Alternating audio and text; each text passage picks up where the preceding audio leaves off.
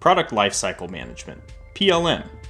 This is going to involve a lot of facets of your business, and some of what you want to achieve in a PLM system could involve external stakeholders. This is why SOLIDWORKS Manage includes web access, which will include just about everything you'd see in the full Windows client interface, but in a web browser. The full plenary web client is great for users that require all the functionality that I typically use in the regular Windows client, as long as I give permission for someone to access SOLIDWORKS Manage via the web. They can have a quick way to easily collaborate, regardless of their location, operating system, or browser type.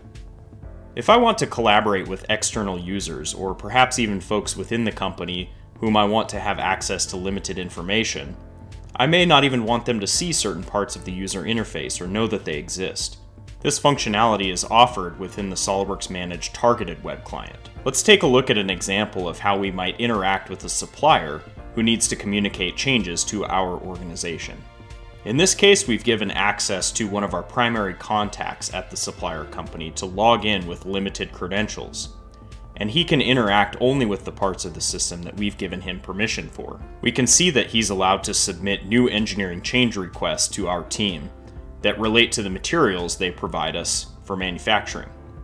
The supplier is allowed to upload new ECRs in the system, but it will be up to our internal team to choose how to move forward with that change request. Maybe that new material doesn't meet our specifications, so we would need to look for an alternate supplier, or perhaps minor changes to the material properties could require design changes or analysis. These are all critical items that we can address in a streamlined fashion by allowing direct collaboration with our external resources.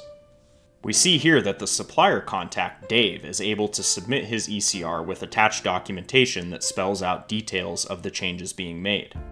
We can now quickly make decisions about what that means for the lifecycle of our product moving forward. If there's going to be any back and forth required from Dave, we can allow him to see those records that he's created, to monitor the status, but disable visibility to other ECR records that he has not been involved with. When we add all this together, it makes for a great way to streamline our communication internally and externally, and make sure that we're not missing any information along the way. For more tips, tricks, and videos like this, be sure to subscribe to Hawk Ridge Systems on YouTube.